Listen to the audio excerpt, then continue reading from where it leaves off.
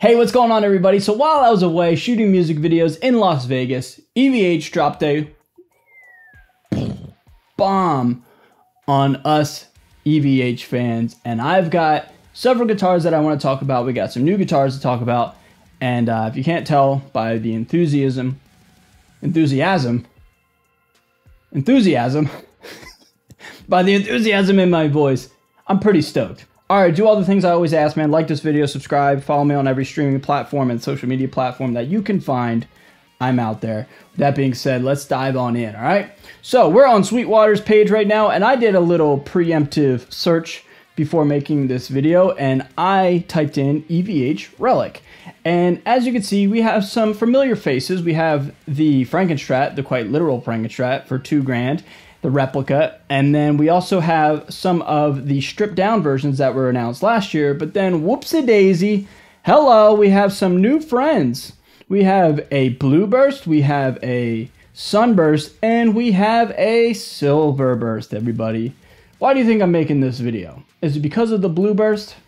No, it's because of the silver burst. Now, I think what's kind of fucking not cool is the fact that these are more expensive than the plain ones. I guess the paint costs like $50 more to make. Okay, that's fine. Let's just hop right on into it, man. We know why we're here. Let's just check out the silver burst. Dude, what do we think of this?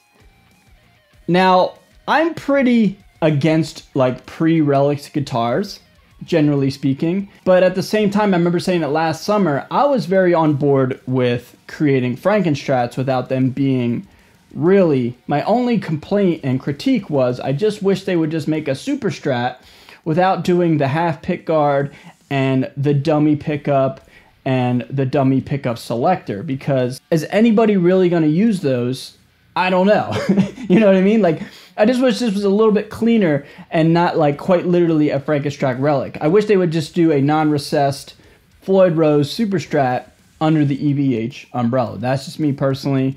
Um, it's kind of like doing what Charvel does, but like I like non-recessed Floyds. They're better for tuning stability. They're not floating Floyds, etc., etc. I think I really like this guitar, and I like I said before, I really don't get behind relic guitars and all this stuff. But this is an exception to the rule. I think the Silver Burst looks amazing. Curious as to why they did Blue Burst, and the Vintage Sunburst makes a lot of sense. Actually, I think that's a pretty sick color too. Um, like my first infatuation with a guitar was a three-tone Sunburst Stratocaster before I even started playing when I was like 10 or something like that, 10 or 11. Um, so the Blue Burst, I'm really not a fan of at all. I mean, if blue's your favorite color, sorry, um, just not really my thing. But with that being said, I really dig the vintage sunburst, and we saw these last year: the red, the black, and the white. I think the white one looks absolutely amazing, but the silver burst, dude, come on now, that's awesome, dude. I'm a huge fan of this. Huge congrats to EVH. EVH is really, really hammering home the silver burst aesthetic. Now we also have a new model of the Star guitar. Now the Star guitar is one of my least, my literal least favorite versions of the EVH guitar. However, I don't know, man. Maybe I'm a little biased, and maybe people from EVH watch my videos. Probably not, but if they do, what's up, everybody? I would love to work together in some capacity someday down the road. But they did something so sick, man. First off, we have new colors. We have satin black, um, which I don't know if that's a new color, but we got a satin black one, a cream satin vintage white, whatever they're calling it, and we also have silver burst as well. But the main thing that I love about this guitar is they put the hockey stick Kramer headstock on this because let's all let's let's be real, man. The the Star guitar with the I guess it's a Danelectro neck, that headstock just doesn't really do it for me, and I think a lot of people would agree. So, putting the cool headstock on this makes so much sense, and it makes this guitar look so much cooler, in my opinion. Not to mention, we have a Tune-o-matic stop tail bridge, which is cool, man, because most EVH guitars and all of Eddie's guitars, to the best of my knowledge, generally speaking, don't at me, all had a Floyd. You know, I'm just gonna correct myself. Like we had the Les Paul Custom, we had some hardtail PVs, and I think maybe a hardtail EVH back in the day, etc. Uh, the Shark guitar. All right, you know what I'm saying. Generally speaking, when you think of EVH branded guitars or Eddie's guitars, they all had Floyds. But the fact that we get the star with a hardtail, that's super sick, man. And I'm not even really a fan of this shape per se. That is until we get the silver burst. I can't tell if I love it or like if it's too wild, but I really think I love it. Who am I kidding? I think I love this thing. Not even really sure how I feel about the silver burst on the actual headstock. Maybe just a uh, plain black headstock would have been better for me. I'm not really a fan of painted on headstocks or like matching the burst to the headstock. That's just never been my vibe and my aesthetic. That's just me.